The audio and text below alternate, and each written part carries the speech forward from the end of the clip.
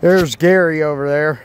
We're in the middle of the woods, like thick. He's been on his hands and knees, and it's just really thick back here.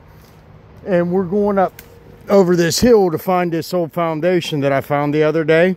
But while we were coming back, we found the old barn foundation. It's hard to see, but this is a big square cutout in the ground.